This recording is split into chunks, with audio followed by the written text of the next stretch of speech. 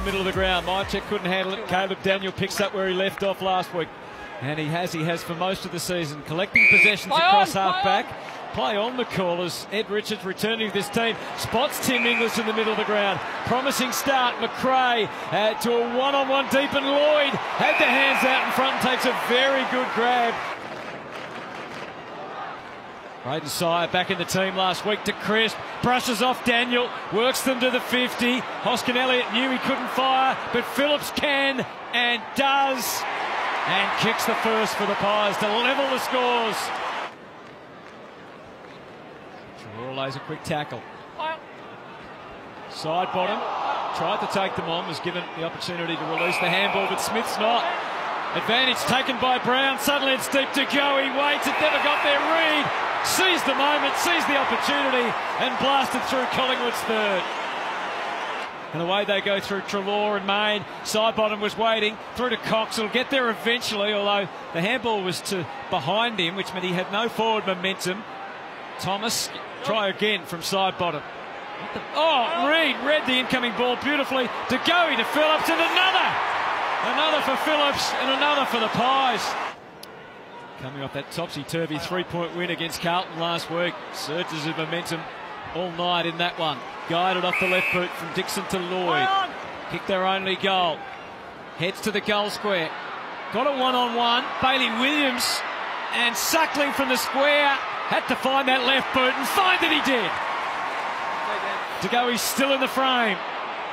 He's looking to find someone. Varcoe was a speculative knock on. He didn't really know where it was going, and the Bulldogs are able to clear the foot of Bontempelli, and now Macrae. Su- Suckling's got Schache charging inside the 50. Will he play on? Goal was there. Take it. He does. And the Dogs hit the front with three in a row.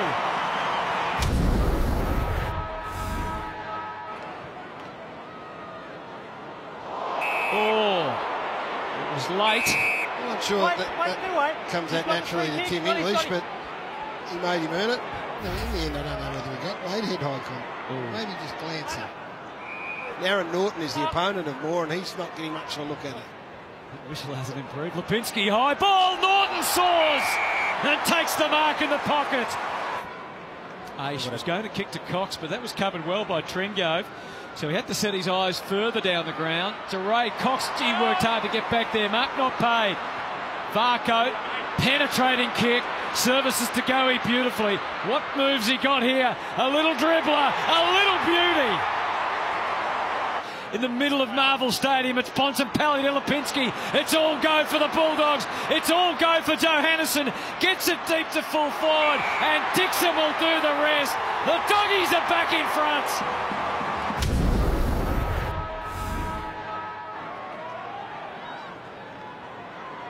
Gee, had to work hard on the shallow throw in. Grundy consents an opportunity. There's a goal in the offing. And as a ruckman, Brodie Grundy can do it all.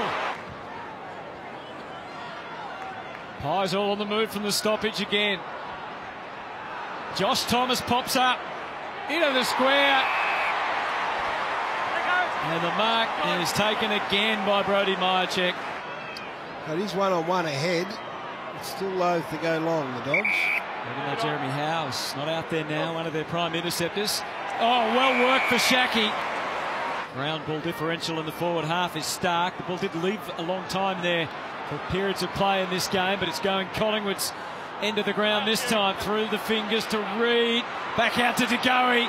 The strength, the core strength, and the core brilliance of this man, Jordan DeGoey. Grundy again. Sier this time. Pendlebury knew that danger was imminent, so he got it moving. And Varcoe does the same. The danger man involved again. And now it's Brown to finish it. Oh.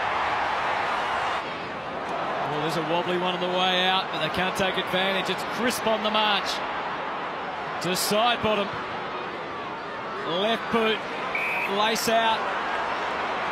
Hoskin Elliott goes to Reid, and he's got it.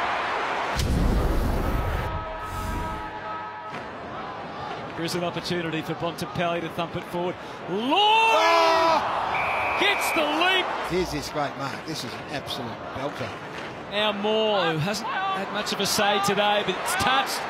I'm not sure that anyone realised that. Sidebottom does, though. Takes the opportunity to drive long. De Goey spells danger. It's a hell of a kick from Steele Sidebottom. And Reid to benefit in the square. He was set. And the Dogs really had to be quicker to adjust then.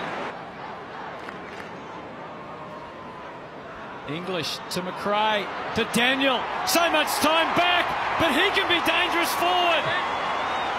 Suckling has to be cool. Oh, there's all sorts of danger and possibilities in that, and they're still not out. Grundy comes again, and that's high. 23 disposals. What a day.